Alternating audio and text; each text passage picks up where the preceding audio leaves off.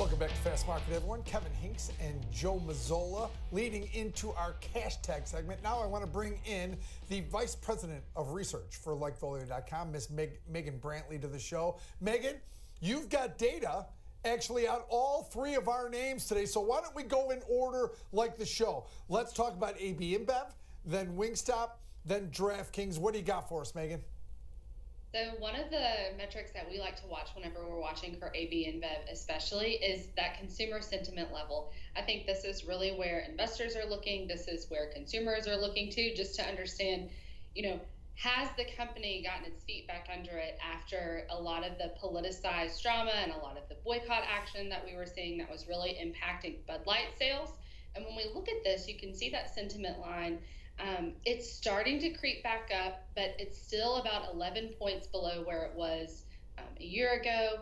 And whenever we look at specifically that Bud Light brand versus other alternatives and other publicly traded names, so for example, a Coors, um, example, the Modelo, we still see Bud Light seriously trailing by as, as much as 15 points. So I think that, you know, the the stock seems to have recovered, but we don't quite see sentiment levels recovering to that degree. Obviously, Bud Light or um, AB InBev is an enormous company with many more brands other than just Bud Light, but that tends to be where our data leans in really heavily.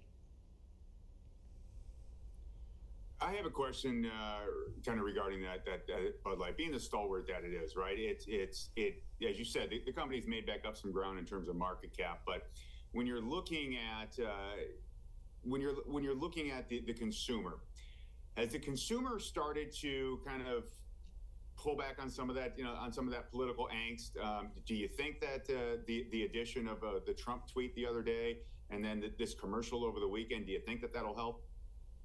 You know, we did see some traction whenever that Trump tweet came through. We saw a jump up in just overall mention volume, and we did see a little bit of a bump up in those overall sentiment levels, but still not normalized. So we still think that there's room for improvement. I'm not quite sure consumers are sold yet, but it's certainly a step in the right direction for Bud.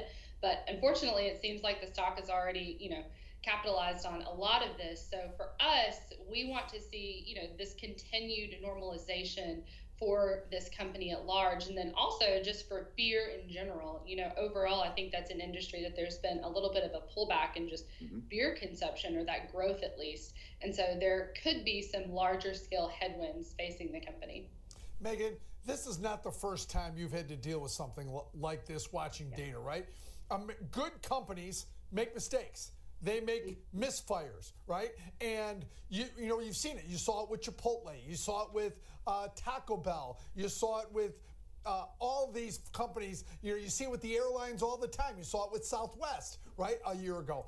Companies make mistakes, but the Americans are very forgiving, and eventually, over time, the angst or the negative feelings dissipate, right? So uh, is that what you're looking for here? Is you're that you're looking for that pendulum to swing back in a slow recovery, a recovery both in name and and uh, reputation as well as the price of the stock?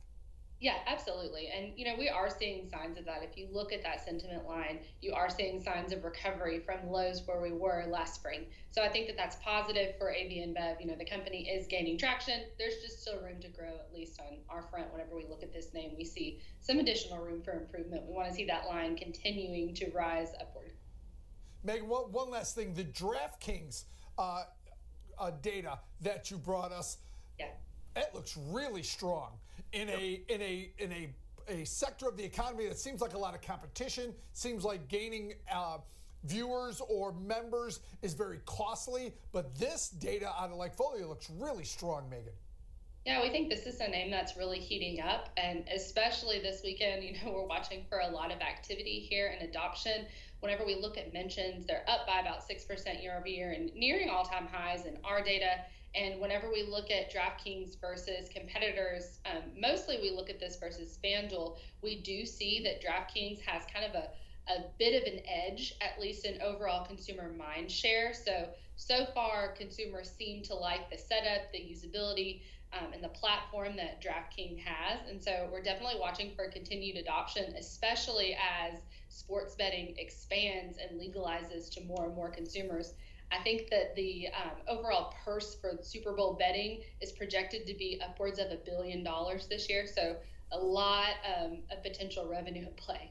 Yeah, and we also got Wingstop, which we're looking at. Numbers look really good there. Megan, LikeFolio Data seems to be uh, pointing higher in that too. This is a, a company that is more similar to McDonald's. Joe and I will get into that actually. First thing, I want to say goodbye to Megan Brantley. Thank you so much for coming on the show and bringing the LikeFolio data that frankly covered all three of our names today. That's a, that that's really great. Thanks for coming on, Megan. Thanks, guys. Happy Friday. Thank you. Thank you. Now, Joe, our focus for this segment is Wingstop, and the LikeFolio mm-hmm. data on Wingstop pretty strong, right? This is a company more like McDonald's than a Chipotle, right? They're 98% franchises. Uh, what are your views on a company like Wingstop as we look to Super Bowl Sunday? I think there's been a, a dynamic shift in terms of consumption on, on Super Bowls now. I mean, yeah, we moved away